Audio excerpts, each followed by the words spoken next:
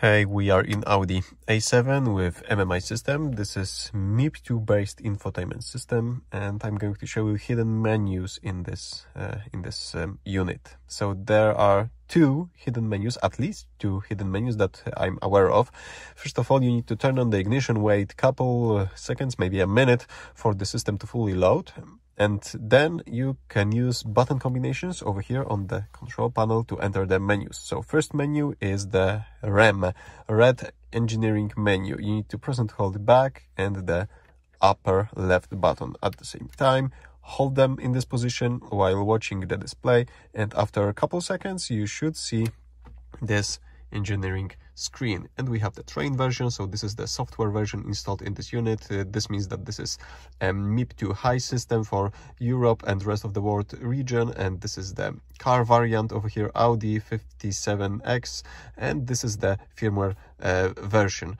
And we have a couple options like settings system and update so this is the menu that you uh, use to trigger firmware updates uh, and to exit this menu, well, you cannot just press menu or return. You are pretty much stuck over here unless you know how to exit it. And all you need to do is press the same button combination as before. Just keep uh, those buttons, uh, buttons pressed for about five seconds and you will be back to your uh, menu over here. And the second menu is called GEM, Green Engineering Menu. So you need to press back and the lower left and wait 5 seconds. Once again and over here on the display we should get the green menu. Well we are not getting it so let's try again a little bit faster.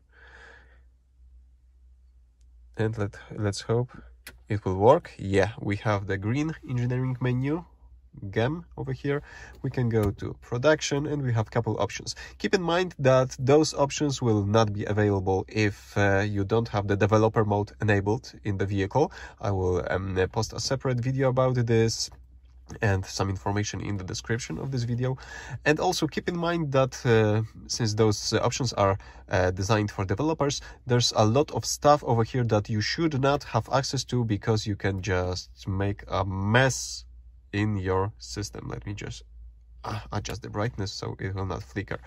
We have some uh, information over here. We have the uh, radio control, radio car communication options over here for tuner and software download and traces and other things.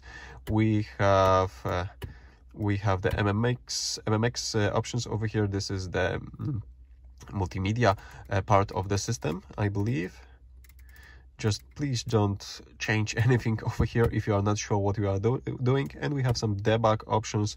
And over here I believe there's an option uh, to copy screenshots for example to SD1 if you created some screenshots there they are stored in the internal memory um, as long as you don't copy them manually with this option to the uh, SD1 uh, inserted in the main unit.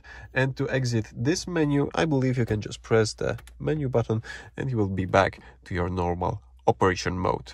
That's it.